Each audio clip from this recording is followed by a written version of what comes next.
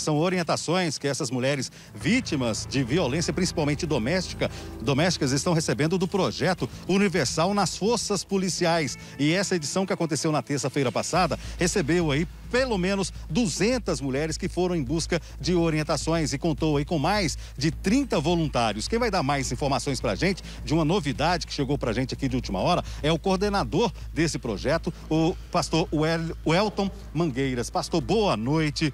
Devido ao sucesso que foi terça-feira, vocês decidiram então fazer uma nova edição desse projeto?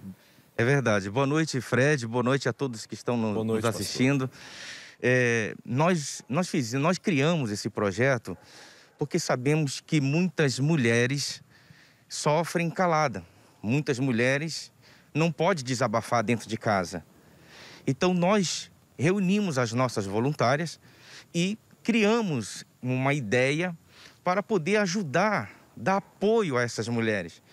Nós pedimos o apoio da nossa Polícia Militar aqui do estado de Goiás, com o Tenente Coronel Giovanni, lá do nono Batalhão, e nós realizamos ali em frente a 44, ali na base móvel da Polícia Militar, do ônibus, e eles cederam um lugar, um cantinho, chamado Cantinho do Desabafo.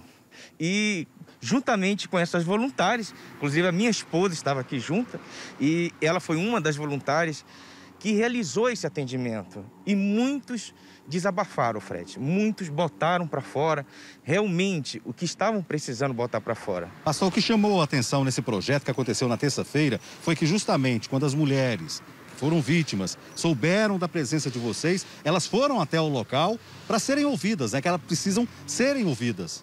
Primeira coisa, Fred, é, elas deram atenção, um por causa que tinha as voluntárias e outras se sentiram ali à vontade com a presença da Polícia Militar.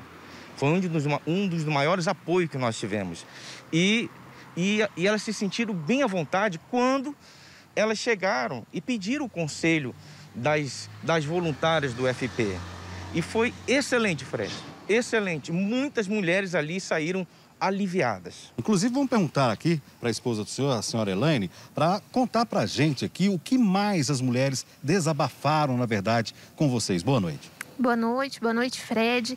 Então, o lema foi: mulher, você não pode mudar o seu passado, mas você pode tirar forças dele. Então nós estávamos ali não para julgar, mas sim para ajudar essas mulheres, né?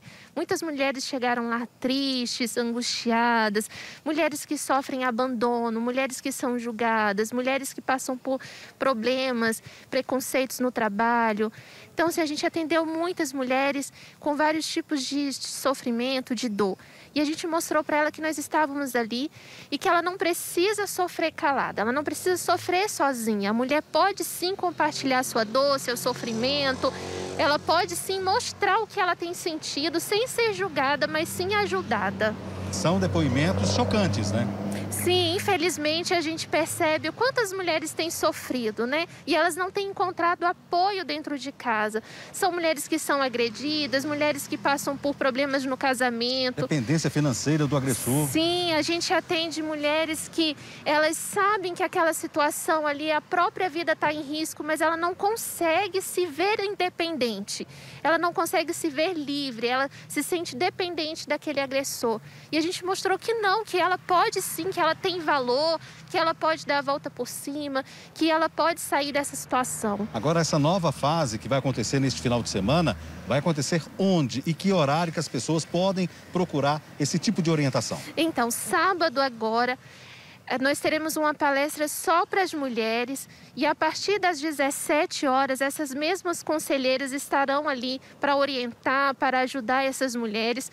Será sábado agora a partir das 17 na Avenida Goiás 1449 ali no centro. Reforçando então, sábado 5 da tarde na Igreja Universal na Avenida Goiás, vocês estarão lá novamente com todo o aparato para dar atenção a essas vítimas. Isso, exatamente. Sábado agora a gente aguarda todas as mulheres que queiram participar mulheres que sofrem violência dentro de casa, mulheres que sofrem agressão, algum tipo de violência, seja psicológica, seja física, ou não, mulheres que queiram também participar dessa palestra serão todas bem-vindas. Muito obrigado pela participação da senhora, pastor, muito obrigado também. E fica a dica aí, né, Fred, porque essas pessoas precisam ser ouvidas e às vezes elas não têm noção de como agir diante de uma agressão. Às vezes elas são xingadas pelo companheiro, né, são maltratadas e acham que aquilo ali é comum. E na verdade aquilo não é comum. É o primeiro passo para uma agressão física ou até uma agressão mais contundente que a gente já viu e já relatou aqui durante a nossa programação. Então fiquem atentas,